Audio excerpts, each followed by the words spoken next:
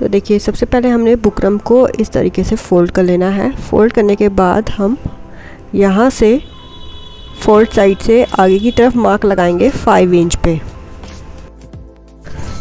तो देखिए, इस तरह से हमने फाइव इंच आगे मार्क लगा लेना है।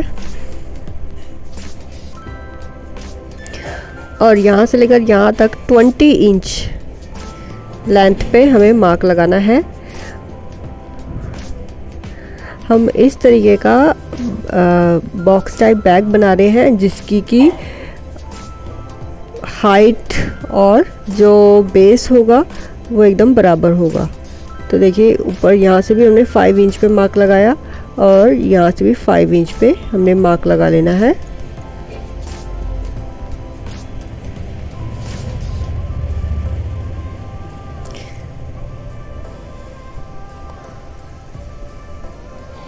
अब हम इसकी कटिंग कर लेंगे।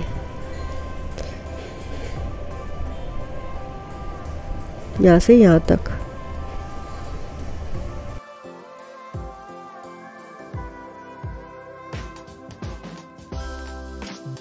अब देखिए, हमने यहाँ पर सेम साइज़ की लाइनिंग और बीच में हमने रखा है बुकरम और सबसे ऊपर मेन फैब्रिक रख के चारों तरफ़ से हम स्टिच लगा लेंगे।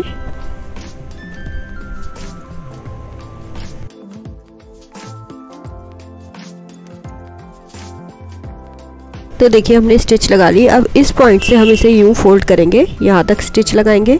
फिर यहाँ तक स्टिच लगाएँगे। ठीक इसी तरीके से यहाँ पर भी हम इस कॉर्नर पर इसे फोल्ड करेंगे। यहाँ तक स्टिच लगाएँगे। फिर इस कॉर्नर को फोल्ड करके ऊपर तक स्टिच लगा लेंगे। देखिए, यहाँ से हम फोल्ड करेंगे और स्टिच लगा लेंगे।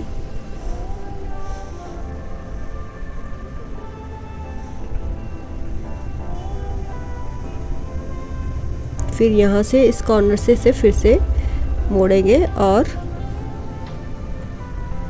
यहाँ तक स्टिच कर लेंगे। ठीक इसी तरीके से दूसरी साइड भी स्टिच कर लेंगे। तो देखिए दोस्तों, हमने यहाँ पर स्टिच लगा लिया है। अब हम हैंडल बनाने के लिए seven inch by five inch का ये फैब्रिक ले लेंगे, जिसको कि हमने इस तरीके से एक फोल्ड करना है। और उसके बाद यू फोल्ड करके इसको करीबन वन इंच चौड़ी हमें बनानी है और स्टिच लगा लेना इधर। तो देखिए दोस्तों, अब हम यहाँ से थ्री इंच पे मार्क लगाएँगे सेंटर पे और यहाँ पर भी थ्री इंच पे मार्क लगाएँगे और इस हैंडल को यहाँ पर रखेंगे और स्टिच लगा लेंगे। फिर इसे यहाँ से पलटेंगे और यहाँ पर रखकर स्टिच कर लेंगे।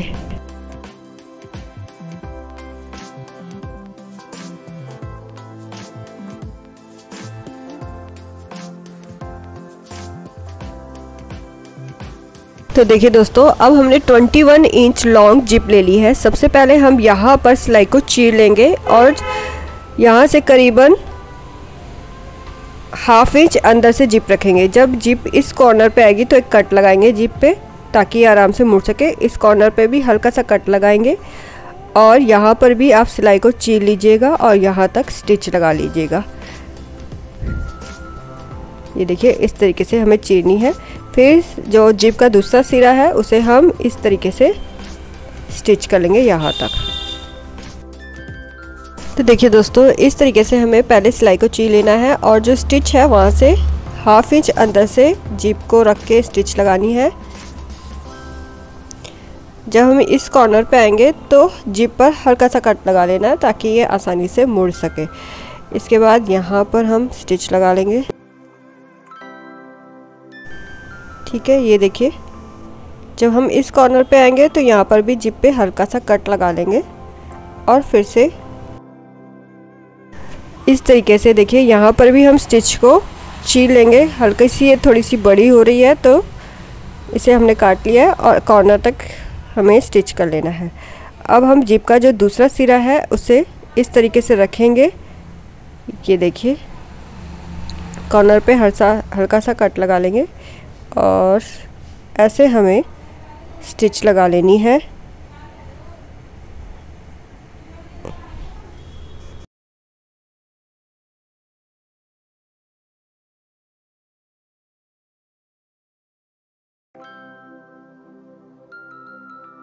अब देखिए, हमने यहाँ पर जिप को अलग अलग कर लेना है और इसको हम सीधा करेंगे, राइट साइड को टर्न कर लेंगे और जिप के अंदर हम रनर डालेंगे तो देखिए, हमने जिप में रनर डाल लिया है। अब ये जो सिरा है, यहाँ पर हाथ की सुई में हम डबल थ्रेड डालेंगे और दोनों सिरों को पाँच छः टाँके लगा लेंगे।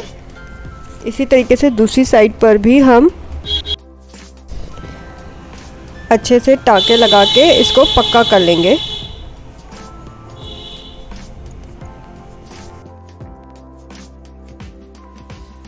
अब देखिए हम किनारों की फिनिशिंग के लिए ये 1.5 इंच चौड़ी स्ट्रेट कपड़े की स्ट्रिप लेंगे और हर किनारे पर इसे ऐसे स्टिच कर लेना है हमें।